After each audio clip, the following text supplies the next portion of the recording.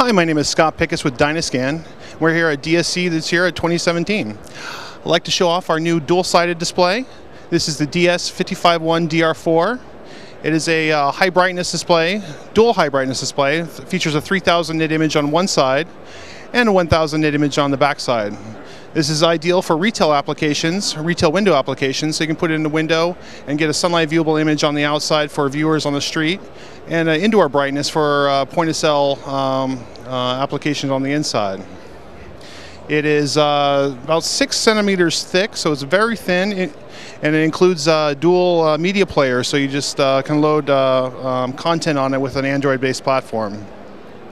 Uh, for more information on this product and the rest of our products here at D Digital Signage Expo, uh, please visit us at www.dynascandisplay.com.